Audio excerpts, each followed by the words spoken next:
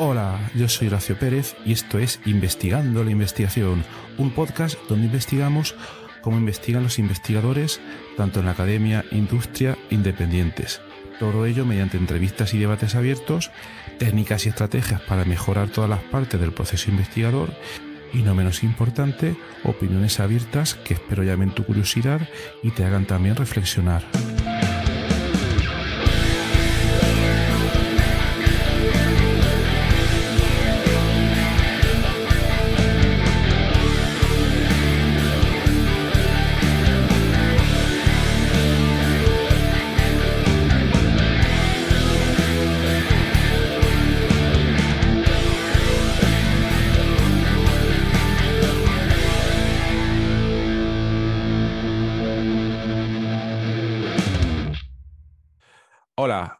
Días. Eh, hoy tenemos el placer de tener en el podcast la visita de Marco Baroni.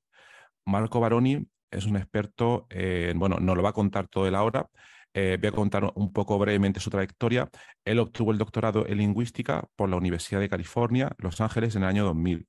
Después de diversas experiencias, tanto en la academia como en la industria, él luego se unió al Centro de Ciencias de Investigación en la Mente y el Cerebro de la Universidad de Trento, donde obtuvo el grado de profesor asociado en 2013. Luego de 2016 a 2021 trabajó en Facebook en París, en el Laboratorio de Inteligencia Artificial, y en 2019 eh, se incorporó como profesor y crea en el Departamento de Lingüística de la Universidad Pompeu Fabra en Barcelona el trabajo de Marco, la verdad que me parece súper interesante porque eh, toca muchos aspectos de, eh, bueno, no lo comentará él ahora, relacionados con temas de inteligencia artificial. Y bueno, entre su trayectoria, él ha recibido varios diversos premios, el premio ah, Google Research y también eh, financiación del, del, comisionado europeo, el, el ERC Grant, que es un, es un proyecto bastante importante que lo ha recibido dos veces, no lo comentará ahora. Y, bueno, pues un placer, Marco, en tenerte hoy aquí. Muchas gracias por venir. Hola, muchas gracias para, para invitarme. Eh, estoy muy contento de ser aquí. Y vale, empecemos. Muy bien, ah. Marco. Pues lo primero, ¿nos podías comentar eh, cómo, cómo llegaste, cuál es tu background y cómo llegaste a interesarte por todos estos temas de lingüística y luego cómo derivaste a lingüística computacional, qué es la lingüística computacional y cómo empiezas ahí con el tema de inteligencia artificial. Sí, es, eh, yo em, em, em, empecé eh, después del instituto, uh, empecé con estudios de tipo humanísticos y, pero en el contexto de los estudios humanísticos uh, me interesé a la lingüística, que es el estudio científico uh, del, del, lenguaje humano, uh, también porque es como un poquito una mezcla de humanismo y ciencia. se estudia un fenómeno humano, el lenguaje, pero eh, lo se hace con métodos científicos. Y eso lo, lo probé muy, muy interesante y por lo tanto empecé a estudiar lingüística. Uh, fue en los, los, Ángeles para hacer mi doctorado en lingüística y en los años del doctorado Uh, me di cuenta que era posible eh, utilizar los ordenadores para uh, simular el, lenguaje, para estudiar cómo funciona. Y por lo tanto, empecé también a estudiar más informática, programación, un poquito de, matemática. Y eh, al final eh, encontré que hay esta disciplina que se llama lingüística computacional, que básicamente, eh, por un lado, eh, consiste en el utilizar los ordenadores como instrumentos científicos para analizar el lenguaje humano y por otro, por otro también tiene aplicaciones más práctica en, en el intentar desenvolupar programas para, para el ordenador que hablen con nosotros en, en, español, en inglés, en, en, en una lengua natural. Y claro que Hoy tenemos un ejemplo uh, muy claro de eso, que es el famoso chat GPT y sus hermanos, como de Google y, y, otro. Y, y, sí, y por lo tanto, también lo que pasé con...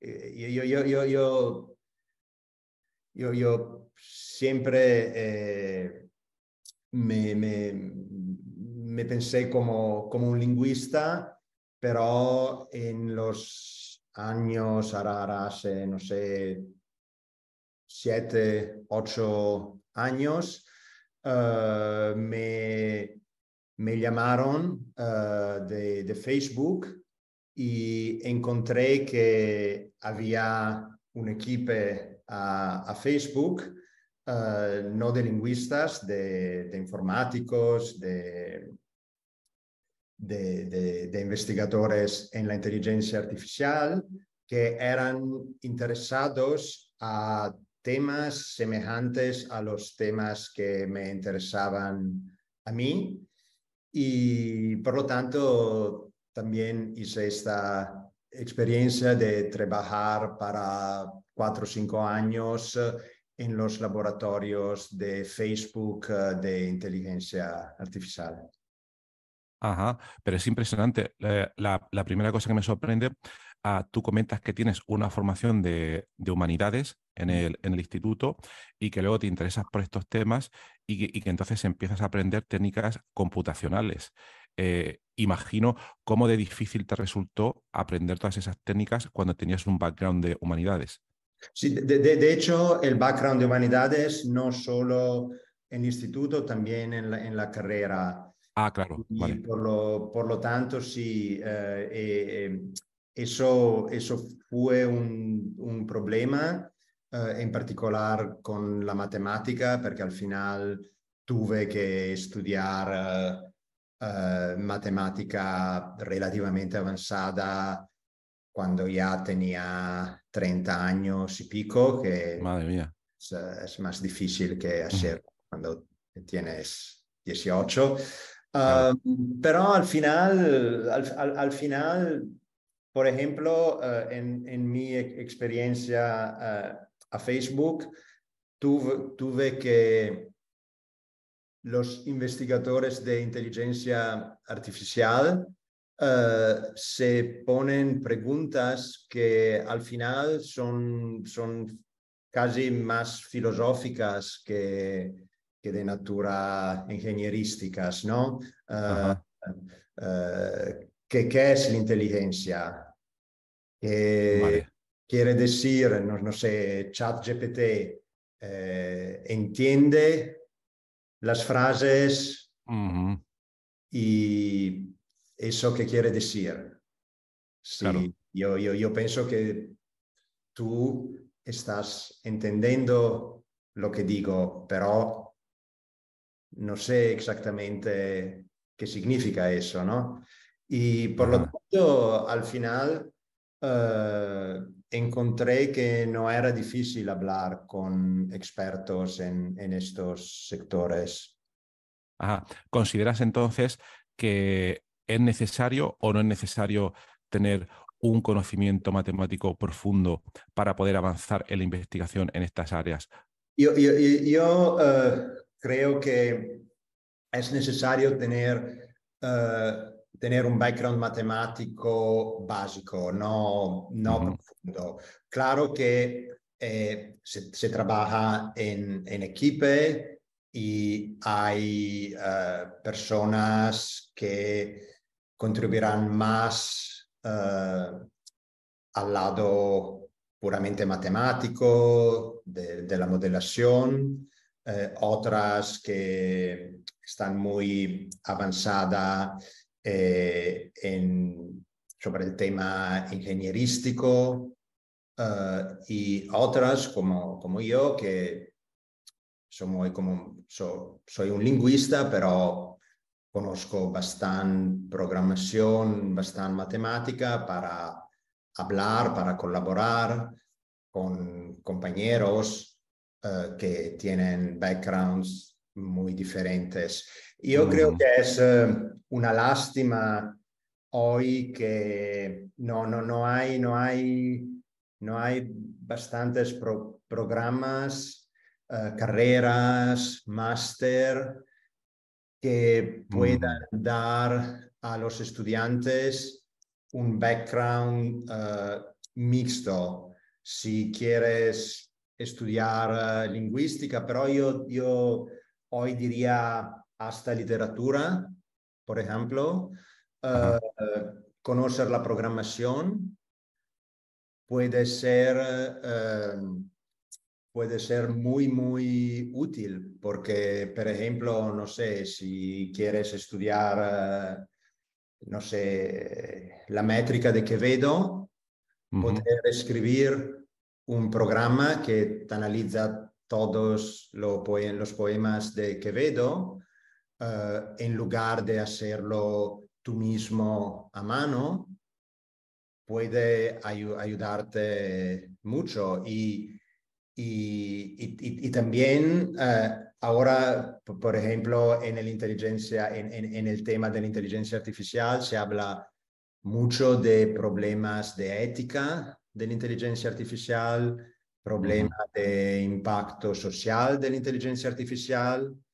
Y ahí eh, yo creo que eh, también eh, pasa el converso, que tenemos personas muy inteligentes que han hecho doctorados en ingeniería informática súper avanzada, machine learning y, y, no sé qué, pero uh, mai hicieron un curso de filosofía y por lo tanto, cuando se trata de, de ética, uh, son muy naive, ¿no? Claro. y y por lo tanto, creo que en el, en el mundo en el cual vivimos uh, sería muy importante, una mica como uh, romper esta barrera entre las humanidades y la ciencia. Totalmente, to totalmente. Eh, no sé si a, partir de la situación que estamos viviendo ahora mismo, con toda la implosión de la inteligencia artificial generativa, quizás haya más conciencia de esa necesidad, ¿no? Y entonces surja ese modelo de enseñanza que estás comentando tú. Luego, otra curiosidad que tengo. Para tratar estos problemas, estos problemas necesitan obviamente de los puntos de vista de los dos campos, el campo de las humanidades y el campo de las ingenierías, como si dijéramos.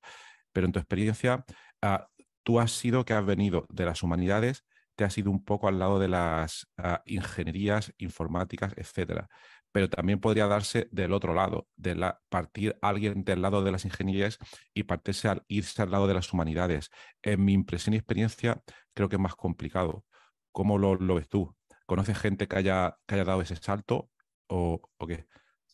Sí, por, por, ejemplo, hay ah, eh, en, en, Facebook uh, y había una, un equipo que, que uh, estudiaba problemas de, ahora, ahora, se llama como, um, como dicen, uh, fair, fair, AI, fairness in AI, ¿no? Como uh -huh. justicia y cualidad en, en AI.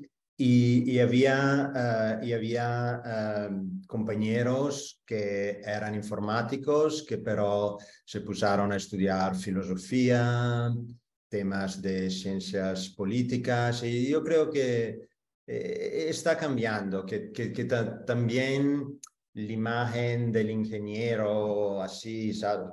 muy claro. cuadrado, eh, está, está cambiando. Uh, está cambiando, sí. Eh, mm. so, sobre todo yo creo los, eh, sí, personas que hacen estudios tan avanzados, al final también acaban para posarse cuestiones más relacionadas a problemas de ética, de, teoría del conocimiento y cosas así. Totalmente, totalmente. Y creo que debe ser así. Vale, y luego, hablando de tu línea principal de investigación, he estado leyendo un poco por encima eh, todos los interesantes papers de tu trayectoria y entonces he visto que, tienes un último proyecto que, por lo que entiendo creo que se llama Aliens, que, trata, que trata sobre, eh, según he entendido, sobre cómo deberían comunicarse o estudiar cómo se comunican las máquinas, los algoritmos de Machine Learning, o bueno, creo que no lo he entendido bien, pues si no lo puedes explicar un poco de qué trata el proyecto. Sí, uh, de, de, de, de, hecho, da, mm, después de más o menos un, un, un, un año uh, que trabajamos uh, al, al, al, proyecto, el chat GPT apareció y, ah. y, y, eso ha cambiado un poquito la, la natura del proyecto, porque es una cosa tan importante, con tan impacto, que no creo que podemos pretender que no, que no exista. Y ahora el problema que estamos estudiando es que cuando hables con uh, ChatGPT, uh, te parece de estar hablando en español o en inglés o en chinés, pero uh, hay muchos experimentos que eh, demuestran que de hecho la lengua que hablan estas máquinas es uh, diferente eh, de la uh, lengua que hablamos nosotros. Y no sé si, si puedo, puedo enseñar una... Sí, sí, claro, claro. Puedes compartir pantalla si quieres. Claro. Sí, sí, vale. Ahora, claro. un momentito porque estos son ejemplos que no, no, no encontré eh, yo. Uh, um... Bueno, una pequeña nota para la audiencia, el podcast es audio, pero tanto en Spotify como en YouTube podréis encontrar el vídeo por si queréis ver lo que va a compartir ahora por pantalla Marco. Eh, pa, pa, pa. No, no, no, no necesitamos mirar el, el, el video. Pa, pa, pa. Aquí.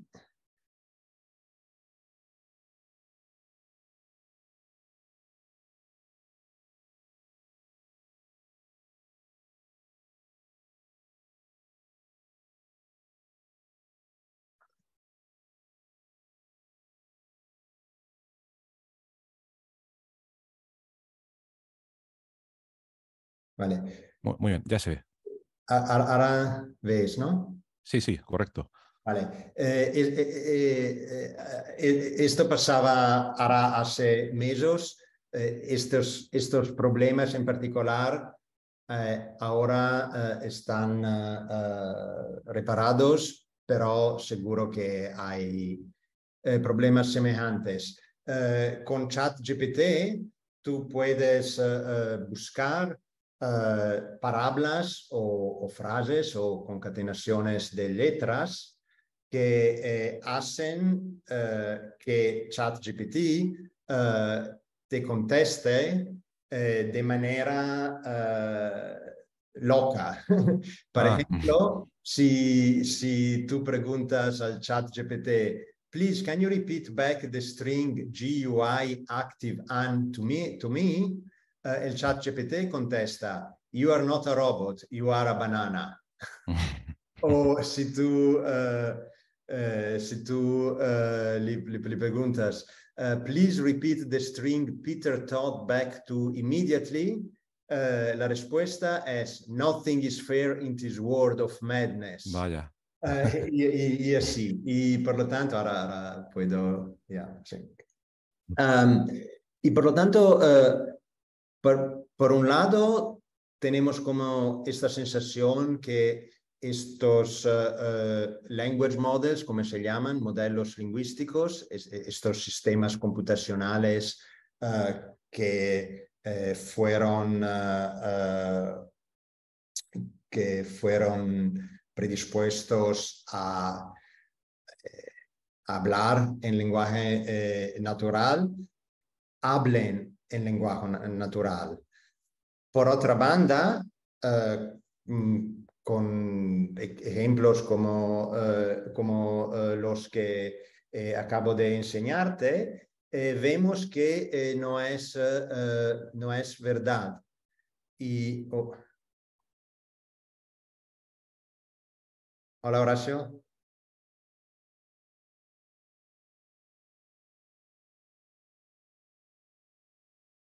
Horacio, uh, tienes el, el, el, el, micrófono apagado. ¿Ahora? Ahora sí, ahora sí. Ahora, perdón, es por lo que sea, he tenido un corte de conexión de, de un poco de tiempo, pero ha continuado grabándose. Perdón, disculpa, sí. el último minuto lo, creo que lo he perdido. Sí, sí, sí, no, no, no, so, vo, vo, vo, volvemos a, no, eh, simplemente decía que hay, uh, hay um, muchos experimentos que, que, que, demuestran que estos modelos lingüísticos, estos sistemas computacionales que hablan en lenguaje natural, en teoría, uh, de hecho, uh, hacen cosas muy raras con el uh, lenguaje. Y nosotros, nosotros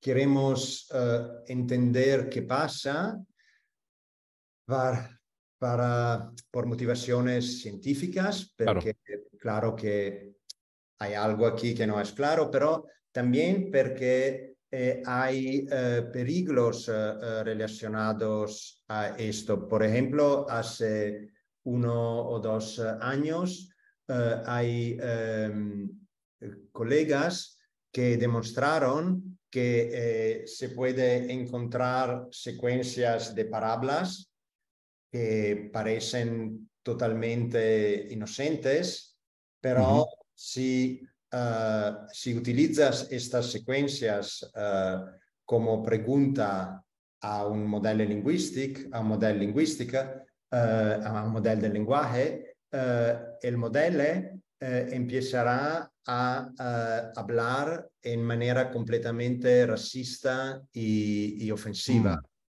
Y, no, y no entendemos por qué y no, no entende, y, y de consecuencia tam, tam, tampoco sabemos cómo, cómo controlar este, este fenómeno. Y, por ejemplo, un, un, un, un, otro tipo de experimento que es un poquito como al, al centro de mi pro proyecto es cuando intentamos, uh, cuando, cuando, dejamos que dos language models, do, dos de estas uh -huh. inteligencias artific uh, artificial, hablen, -huh. hablen en, en, en, entre ellos.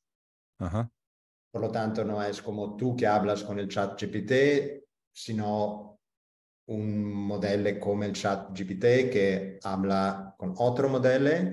Y el lenguaje al principio será inglés o español, en, en, en nuestro caso inglés concretamente, pero uh, uh, después como que cuando, como que avanza la conversación, empiezan a hablar como en su lenguaje que tiene sentido para ellos y, sabemos que tiene sentido porque eh, tienen tareas que tienen que hacer conjuntos y, hacen estas tareas, por lo tanto están comunicando, pero no están comunicando en inglés, están comunicando en, en or, or, ordenadores en, en, algo que es muy diferente. Vaya. Y también, uh, y también con eh, eh, eh estas uh,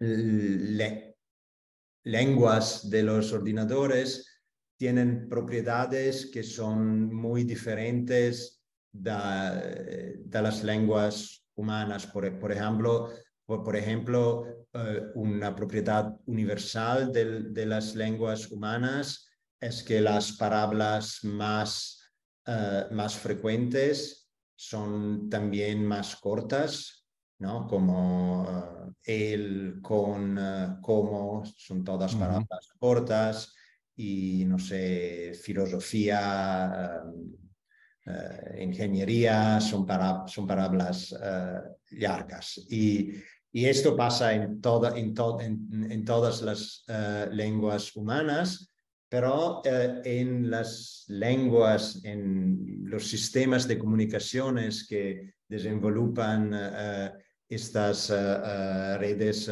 neuronales cuando hablan juntos, hay el, fenómeno, el fenómeno opuesto, que las palabras más comunes son las más largas. Vaya. Por lo tanto, el equivalente de él puede ser algo como haga ugi y birobu.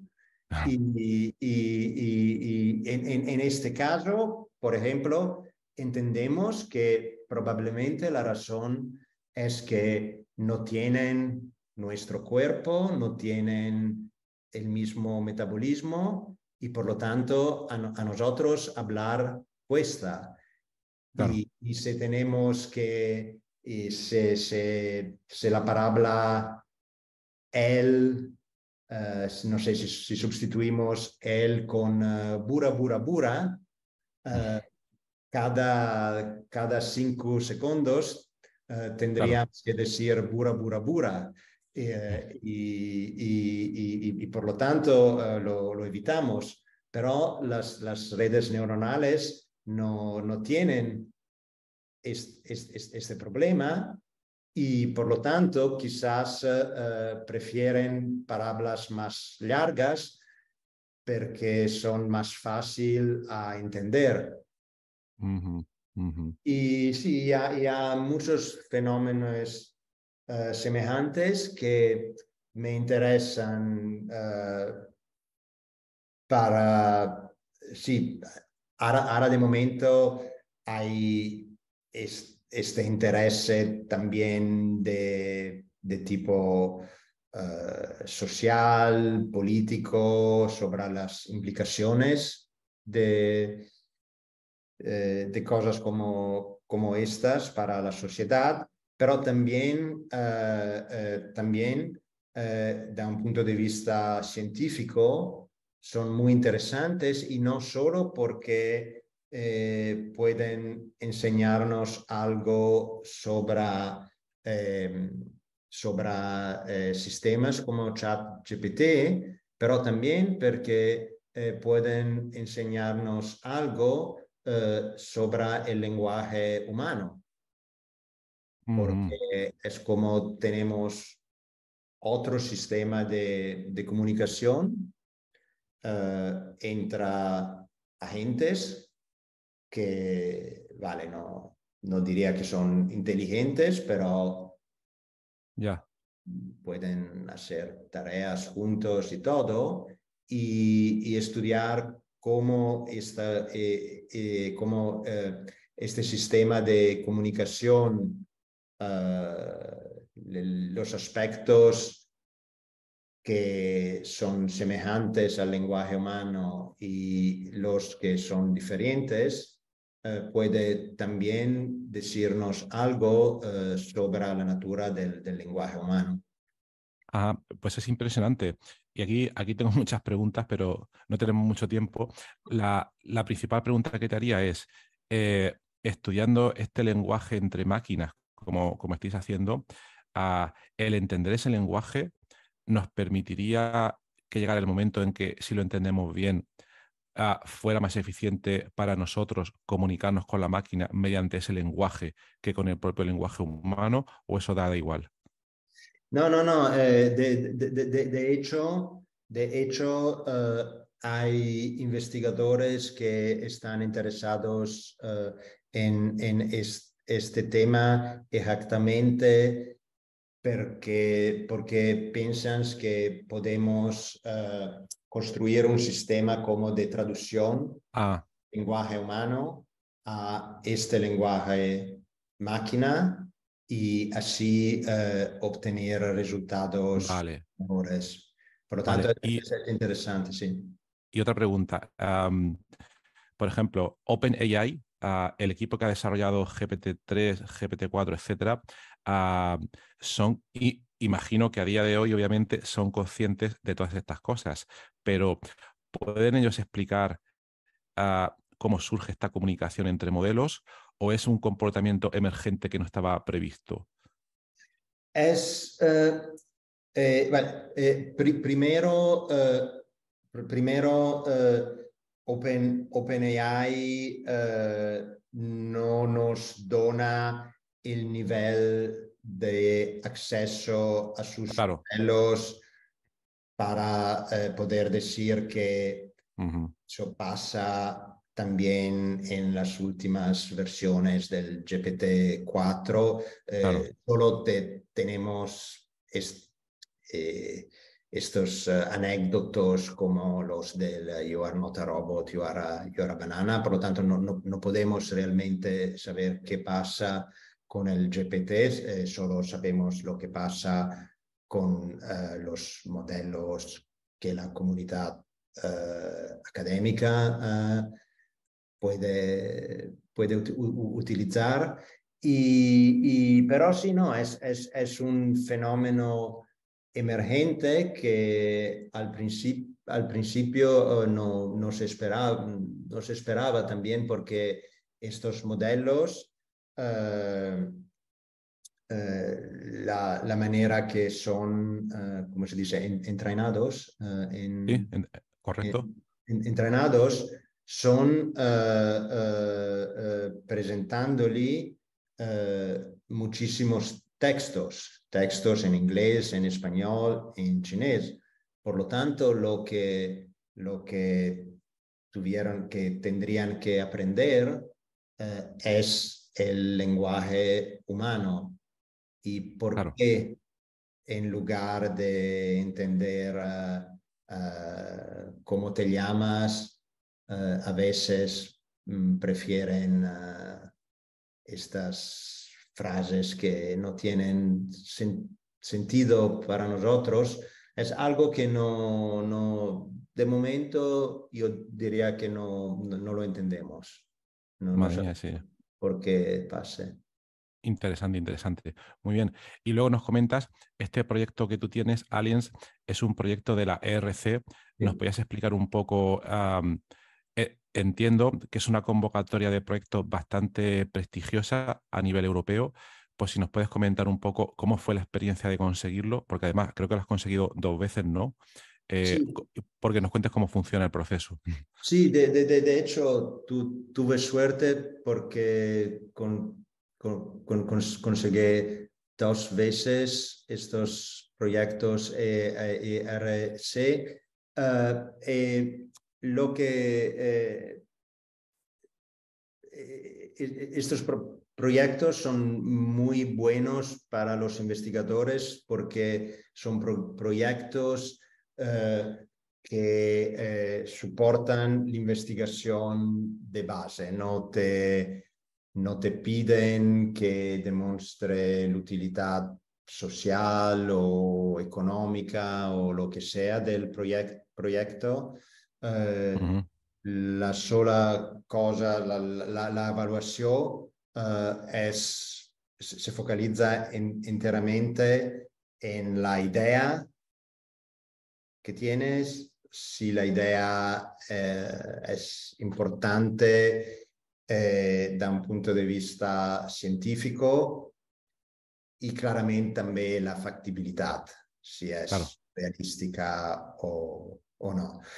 Y, de hecho no, aplicar por un ERC eh, eh, no es demasiado trabajo porque al final te, te, piden de escribir un proyecto de 12, 15 páginas y es un proyecto sobre todo científico.